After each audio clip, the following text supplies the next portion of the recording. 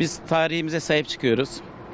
E, Burası Yavuz Sultan Selim tarafından Mimar Sinan'a yaptırılan çok e, değerli e, eserler arasındaki köprümüz. E, Dilovası sanayi şehri. Dilovası e, tarih ve aynı zamanda kültür şehri.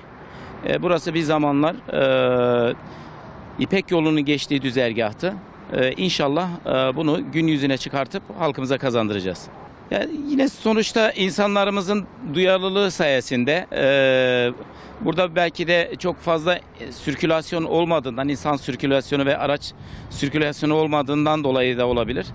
E, burası 1993 yılında karayolları tarafından hem trafiğe hem de e, araç trafiğine genelde kapalıydı burası. E, eski ihtişamına kavuşacak. Onun yanında yine e, insanlarımızın gelip burada rahat vakit geçirebileceği çok güzel bir alan olacağını düşünüyoruz.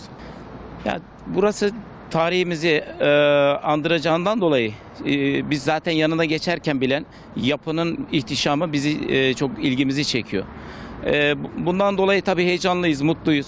Burası bittiğinde e, insanlığın hizmetine sunulmuş olacak. E, geçmişin izlerini sürüyor ama geçmişte de ne kadar bu mimarilerin sağlam ve güzel yapıldığını da görmüş oluyoruz aynı zamanda. E, insanların doyasıyla hatta sadece ilçemizde değil e, değişik illerden Türkiye'nin her tarafından buraya geleceğini düşünüyoruz.